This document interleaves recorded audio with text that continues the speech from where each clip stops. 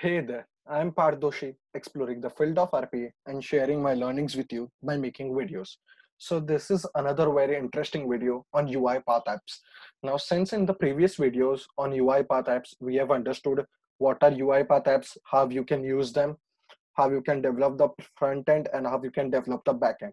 Now, since we have understood all the basic concepts and all the connections that we need to do, in this video, we are going to develop a proper app which is going to also be a great use case. So the use case that we are going to build today, it is going to be a leave application portal. So what this portal will do is first let me show you the UI itself and then we'll go towards building it completely from the scratch. So this I've pre-built, but don't worry, I will explain you everything from the scratch. Okay, so I think there's some problem with my, okay, yeah. So now you see, this is the leave application portal portal which we have designed. Now this can be treated as an app. Now, as you can see, I have the details like first name, last name, employee ID, email ID, leave date and reason. So many times each company have their own tool. Now, if your company is already using RPA and is using UiPath as a tool, you can definitely take the advantage of the UiPath apps and build a leave application portal. This is just the demo of how you can build this. This can be made completely dynamic and there can be added many more features. But we'll see what all we have added over here and how we can develop this kind of leave application portal. So now let's get started. So first, let's start with building the app. Now, what all features this app has? Is that we are going to first let's see that what features will our leave application portal have. So our leave application portal will have the following features. One it is run. It will be accessible to the users on their phone as well and on the website as well. You all can send the link and the user can use it. After that it will have as i showed you the screen it will tell the employee to fill in all the details. And once employee clicks on submit an automated reply will be sent to the employee's email ID that your leave application has been approved. And here we are going to allow the user to take leave only of one day. That's the constraint that we have kept over here. And he has to mention the reason. Once he has filled the form and clicks on submit, on click of submit will trigger a process that will send the mail to the employee on his mentioned email ID and also it will add the data in that Excel file. So we are going to build this completely. Now first we'll build the app, then we'll build the process in UiPath, and then we will connect both of them. So let's start with building the app. So let me click on the edit and this is my main page. Okay. So as I always say in my previous video, whenever you want to add something inside your app, what you first need to do is click on container and then you need to click on add new control. Here you can search for header. So I've used this to give the heading live application portal. Now after that, what I have done is this is a sub container inside this. So you see, this is the sub container one, two, three, four, five, and six. So how can you add the sub container? So for that, you just need to go towards containers. You need to drag this container layout. Let me show it over okay. One second. Let me just undo it.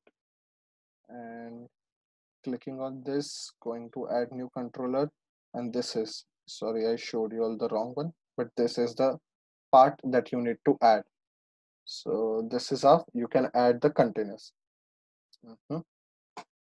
So I've added six. So once you add this, suppose I've clicked on this, you will already have an option of plus over here.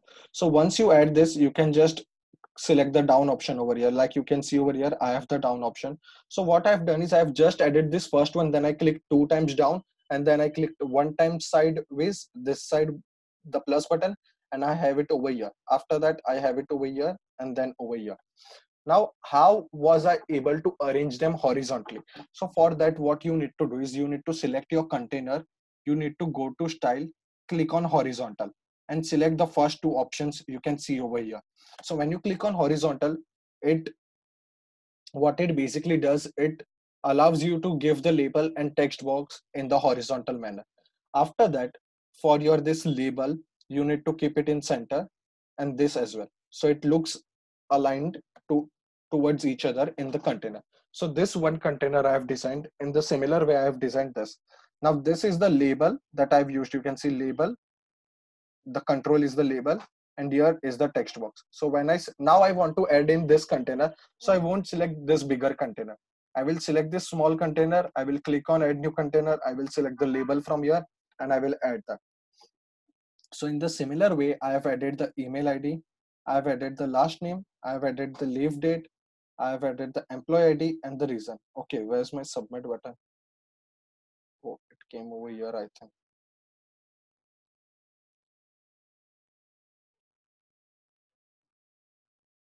I think I changed some property. Let me just do undo and bring my submit button back over here.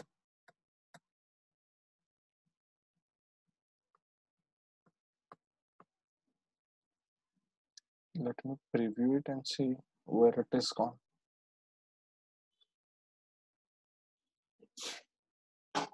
Okay. Okay, I think so. I deleted the submit button itself.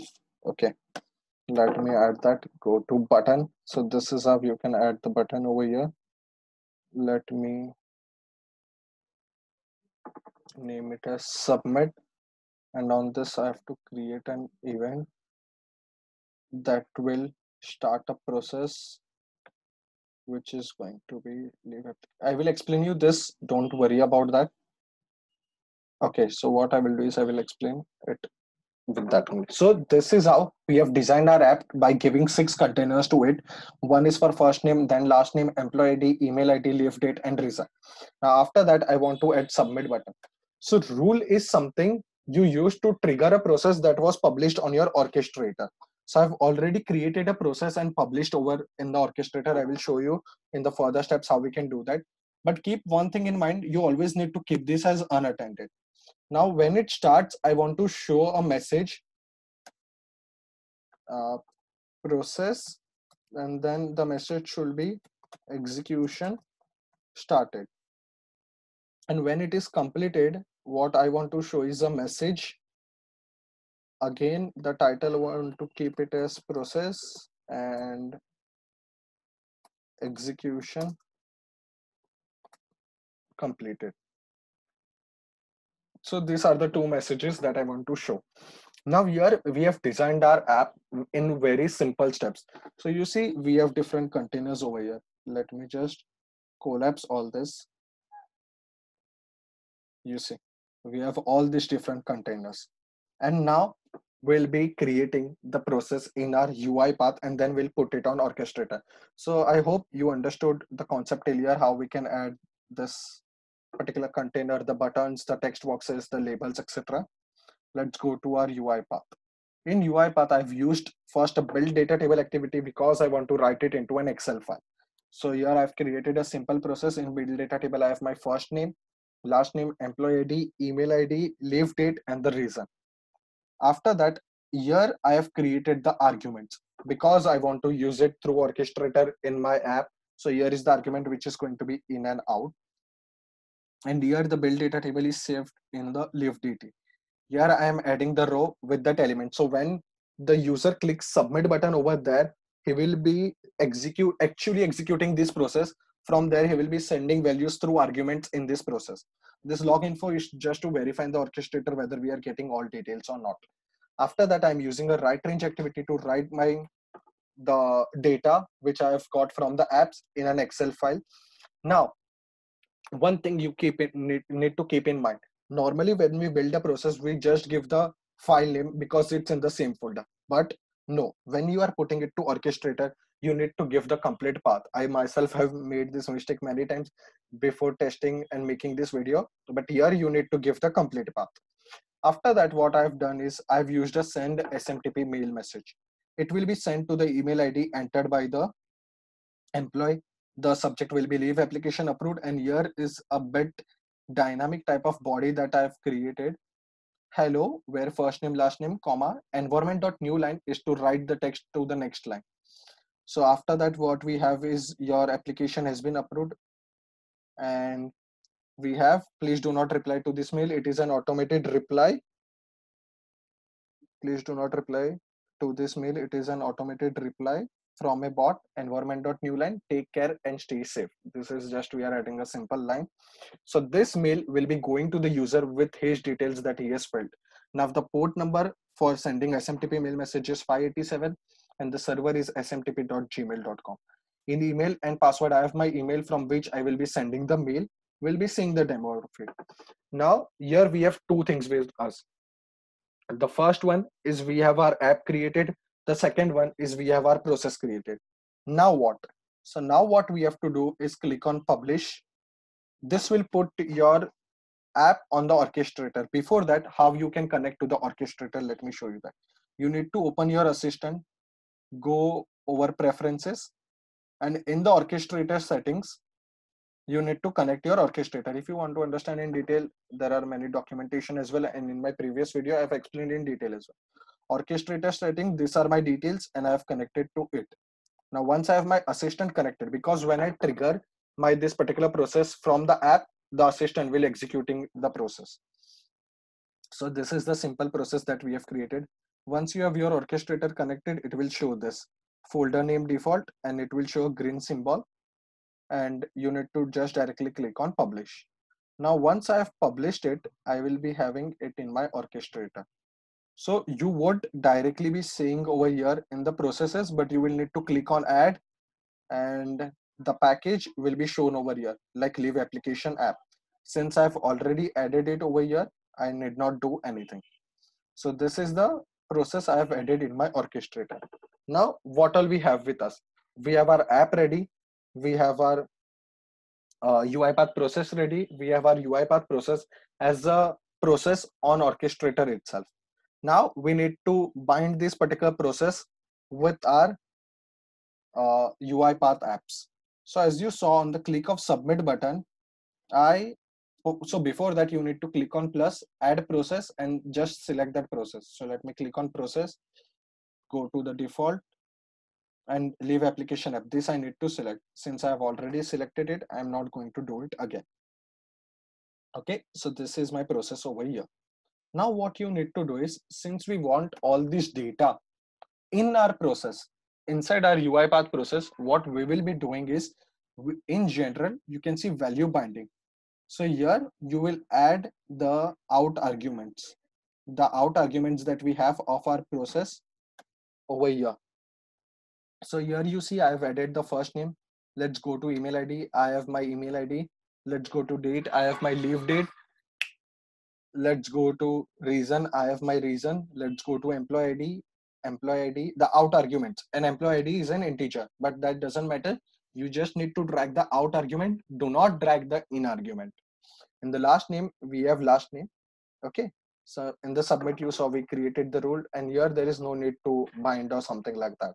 So here we have successfully connected our app to the process that we want to execute. Now let's see what all we did in the step-by-step -step manner. First, we created an app with different containers. Then we built our UiPath process. We connected the assistant with the orchestrator. We published our UiPath process to the orchestrator. We triggered that process using our app by adding it as a process and binding the values using the out arguments. So here we have successfully completed building the complete part of it. Now, one very important thing, even though you have done all this successfully, this won't get executed unless and until you have a robot.js add-on. If you don't have that in your UiPath process, this won't work. So what you need to do is you need to go to robot.js.uipath.com. I will be adding link in the description. Need not worry about that. So when you open this, you will be seeing this script. I will scroll down, scroll down. There are different methods to add, but what you are going to do is click on that and you will have a UiPath robot.js file that you have to add in your UiPath project folder. You need to create a folder scripts, open that and add that over here. So once you have done this, then only your this particular process will work after you have successfully configured all the connections now we have successfully connected our this so let me just quickly publish it. And now we are going to run it and get the complete output. So going back to apps. And let me just run it. So what i will do is i will delete this previously created file. Okay. So i have deleted it. And let me run the, so we'll have the complete fresh data with us along with the new file to see whether actually the process is working or not. And i'm going to enter my email id only so that i get a mail. 100 these are just random values that i'm putting. 244 at the rate gmail.com and i'm going to go to it's october. Okay i went to 2021 okay. So i have a doctor. Grammarly tells me to make it accurate. Appointment so i'm taking a leave on 6th october and now i'm going to click on submit. Now you will be seeing a message box up. Execution started. Now it is going to run. So you saw the process will get execute over here. See the process is getting executed and now once it completes its execution we'll be saying the excel file along with the mail.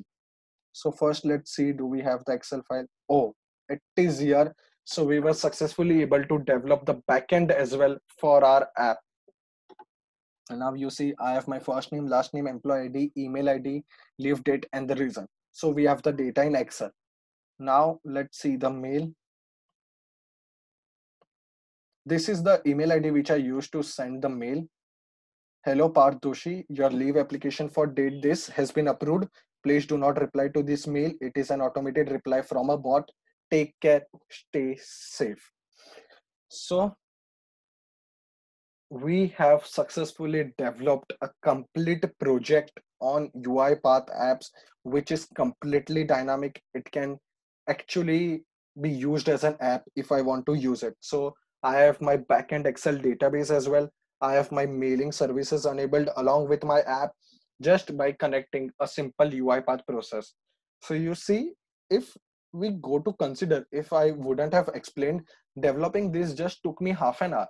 And I just completed, completely built an app along with the Excel backend, along with the mailing services enabled to my app. So if you see an assistant, last run one minute ago. So I've successfully able to build it. So I hope you got a very clear and detailed understanding of how we can build an app from scratch and what are the features available and how we can connect to orchestrator. What is the one most important thing? That is the robot.js file that is required to run our app through the assistant. So i hope you got clear understanding and you learned something new. I would love if you would build some app and tag me in your post on linkedin or somewhere to see what creativity you have with in your mind and build some app by learning from my videos. Please do build something and tag me on my linkedin. My linkedin id is in the description. You can go over there and send me a connection request. And not only build something but if you need any help you can anytime contact me on my contact details in the description. Thank you for uh, staying till the end of the video and watching it completely. I hope you enjoyed and learned something very interesting there are many more use cases i'm going to bring with uipath apps and there are many more integrations that we are going to do. Thank you for watching the complete video. Goodbye